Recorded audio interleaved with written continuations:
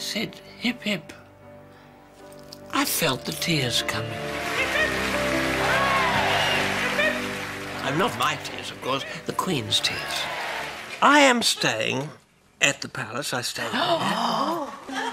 And I've got a key and I've got my own shelf in the royal refrigerator. and some nights I hear a little yapping on the door in the door. Uh-huh.